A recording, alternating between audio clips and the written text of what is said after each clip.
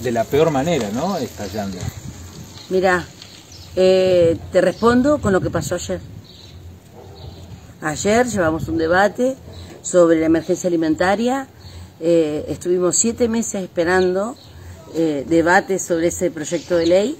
Finalmente, los seis concejales que tiene la ciudad eh, lo negaron, lo archivaron en forma inmediata, eh, desconociendo la realidad, desconociendo lo que vive el pueblo.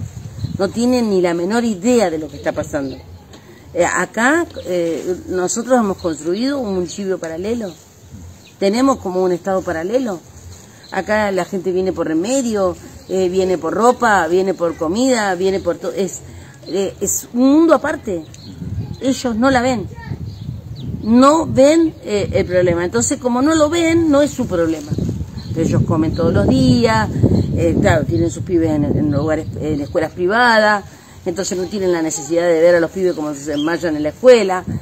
A que nosotros se nos desmayan los pibes eh, cuando van los fines de semana a jugar a la pelota de hambre si el propio organismo que, o sea, la institución CONIN vino acá a hacer relevamiento y te dice que hay pibes desnutridos. CONIN es la, la de la de Miley, la este que reparte los alimentos con petovelo. Sí, sí, de, vendría siendo de las iglesias, eh, con el cual tenemos obviamente un montón de diferencias.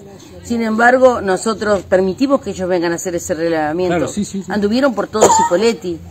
Y hasta ellos dieron cuenta de que hay chicos desnutridos en la ciudad. 12%.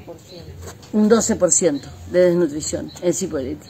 Hay un problema real, ni hablar del grado de contaminación al que estamos expuestos todo el tiempo, porque vos vas y te invito a recorrer el basural. Es un, eh, un lugar de contaminación a cielo abierto. A cielo abierto. Nosotros, desde la multisectorial, tratamos de estar en todos los conflictos que se nos puedan presentar en el camino pero no para ir ni, ni andar vendiendo humo, sino buscarle una solución, denunciar lo que sucede eh, eh, como, como una herramienta también para poder dar las discusiones y los debates que se tienen que dar. No podemos estar así. Y bueno, lo único que vemos y la única respuesta que hemos tenido es eh, la burla. Ayer para mí fue una burla, por eso estaba tan enojada para mí fue una tomada de pelo, porque nos hacen ir, a mí me hacen perder el tiempo. Yo ayer tenía un montón de cosas que hacer acá.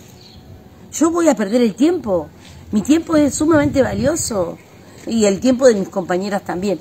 Y sentí como que me, de, verdad. qué hicieron? ¿El proyecto? Lo, El proyecto lo hicimos nosotros y lo presentamos.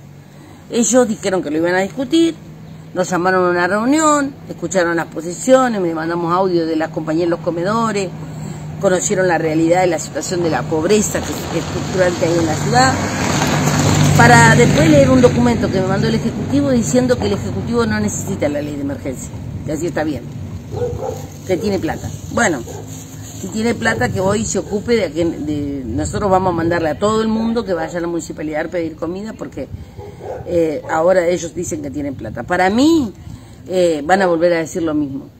Eh, yo me acerqué acá con Jessica, que está acá con nosotros ahora, a la salita, perdón, al centro comunitario del Mapu. Eh, porque vino una compañera a pedirnos una, nosotros no teníamos. El Mapu, un barrio que está acá. Al lado. barrio, barrio eh, de laburante. Sí, pero ahí funciona el centro comunitario. Y ahí es en donde las asistentes sociales trabajan y pueden, bueno, si vos necesitas algo, tenés que acercarte ahí. La vecina se acercó, le dijeron que eh, vuelva a su casa, que iba a ir la asistente social. Yo, nosotros fuimos a ver cómo era el mecanismo y la asistente nos explica, ella nos explica a nosotros, que ella recibe el reclamo, ese reclamo lo mandan a la municipalidad, la municipalidad si considera, la manda al asistente social a ver para ver si tiene una respuesta. ¿A eso qué tarda? 15 días. Es una locura. Y para darte una caja de leche es una burocracia, tiene que pasar por toda esa burocracia, mostrar que es sumamente miserable para que le puedan entregar una leche. No, no, no, no. Eh, acá nosotros tratamos de conseguírsela, buscamos, entre, nos donamos, nos, nos compartimos.